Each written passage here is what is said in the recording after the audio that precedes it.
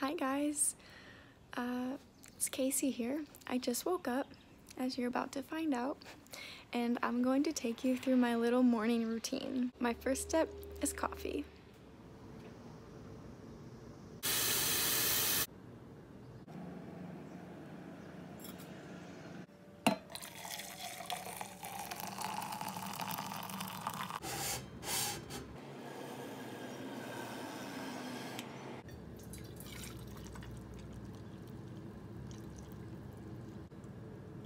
I know you guys are all super busy. I'm sure a lot of you have full-time jobs, trying to get workouts in, trying to have a prayer life, trying to spend time with family, and try to do something on your own. Like, I get it. It's super, super chaotic um, and super hard.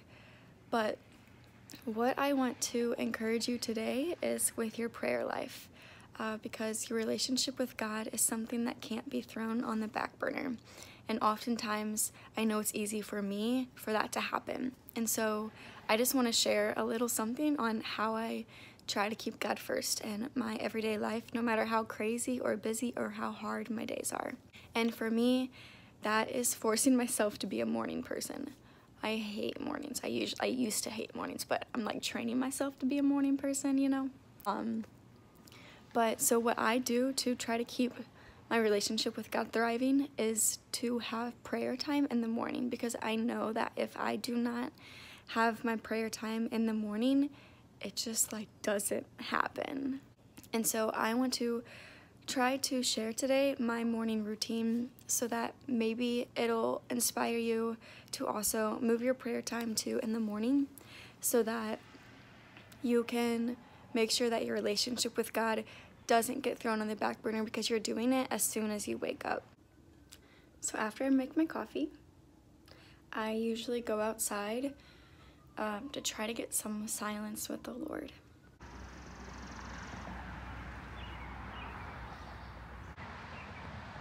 Alright, so I'm finally outside and I'm just gonna simply sit outside. I'm not going to really try to pray anything. I'm just going to invite the Holy Spirit to come and be present with me and just simply sit at least for 10 to 20 minutes and just have silence with the Lord. I usually do silence first because it's when I have like a blank mind and I'm it's easier for me to hear God first if I put silence first.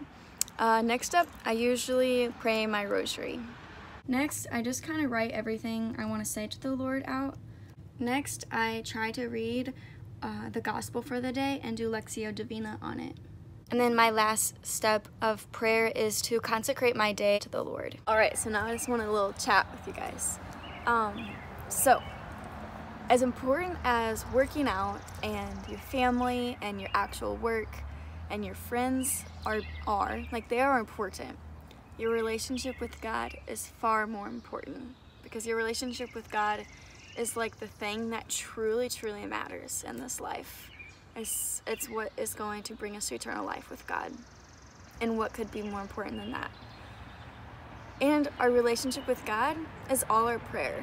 Like if we don't have a prayer life, if we don't have a prayer routine, if we only pray every once in a while, our relationship with God is suffering. So I just want to inspire and encourage you guys today that if you don't have a prayer routine in your day, if you don't have that like sacred, intimate time set apart for the Lord, I just really want to encourage you to go ahead and find that time that works best for you. Without this time in the morning to pray, my soul wouldn't be ready for the day. This is what I mean. The days that I choose to sleep in, which aren't very much anymore, but they happen every once in a while. The days that I choose to sleep in and I get maybe like five minutes of prayer in the morning and then I'm like rushing to whatever I need to do, those are the days that are really hard. Like really hard uh, because my soul isn't ready. I haven't like juiced up and like just sat before the Lord and just let him fill me. When I do that, my day is a hundred times better. So maybe some of you guys are struggling right now with balancing everything.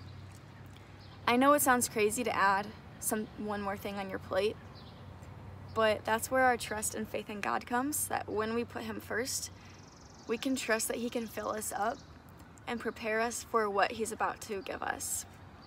So, what helps me when I know I have hard days upcoming, busy days, whatever, I need to get my hour of prayer in the morning so that the Lord can fill me up. Because when He does, when I'm going through whatever hard thing I'm doing, maybe you're doing one of the fitness tests or you're practicing it today. If I let the Lord fill me up, I'm gonna be on fire. Oh, there's a bug. I'm gonna be on fire and I'm gonna be like, okay, God, I'm gonna give you glory in this race today. I'm going to give it my all and I'm gonna give my best, offer your glory. And I offer it up for this person on the team or I offer it up for my grandpa who doesn't know the Lord. Um, and I'm gonna do it well. Now, I don't know if that would be my attitude if I didn't have my morning prayer. So, I truly, truly believe in the power of prayer and how much the Lord can fill us up when we ask Him to. And what's even coolest is making time for your prayer life in your life right now fits into our three core values as our team. First one, shared belief. Obviously, belief. We're like pursuing the Lord. We are taking part in our faith. We are doing the most fundamental thing of shared belief.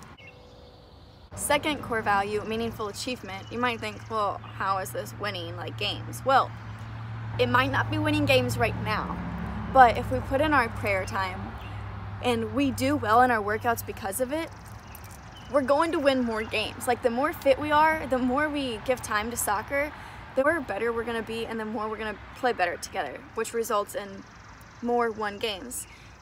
And to do that, we need a good prayer life. At least that's what I believe, because God first and He blesses everything you do, right? um, so, if we make up our prayer uh, time priority in our life, it results in meaningful achievement. And then our third core value, sacrificial unity. During, I don't know if some of you guys know this, but I did Life Teen Summer Missions this past summer. That's where I met Sarah. Actually, I think Sarah has this shirt. I think this is her parish. They like gave it to me because I had like an extra shirt, which is why it's my bed shirt because it's like triple X or something. I don't know. During Life Teen, we had this uh, phrase that whenever we were like saying bye to each other, we would say, see you in the Eucharist. And that means that whenever we receive the body of Christ, we're participating in the body of Christ, right? As like a body coming together, as a people, as a church coming together. And so we saw our loved ones, the people that we loved, our friends, our family, in the Eucharist because we saw Jesus.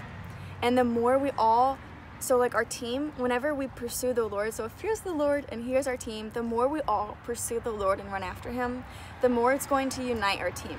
The more we, we unite ourselves to Christ, the more our team will be united. So, that is how increasing your prayer time and uh, maybe making it in the morning, whatever time it might be for you. Just making sure you have a prayer uh, time of your day every single day. That is how it makes sure it fits our core values of who we're striving to be, of a shared belief, meaningful achievement, and sacrificial unity. I know that I have not met any of you guys in person, including Coach Rosser. I haven't met literally any of you because of COVID kept like pushing my trip back to Florida and then like guys I've only seen the ocean like once in my life. Um, so even though I don't know any of you guys like I haven't met any of you guys like face to face like I already love you guys so so much like you I you guys already mean so so much to me which is why I want you to know that like I am here for you if you are struggling with your relationship with God, if you are struggling with accountability and you need accountability, like I will text you every day. Just send me a text and be like, "Hey Kasey, I need I need I need accountability. Can you make sure I get a prayer in every day? Like whatever you need, I am here for you. Uh, because I already love you so so much. Not because of what you've done, not because you're soccer players, but because of who you are, and that's daughters of God. So I hope you guys have enjoyed this little video today of my morning routine and I hope it has inspired you to increase your prayer time or maybe even start it. I cannot wait to see you guys in the fall. Oh, and don't forget, make sure you do those workouts.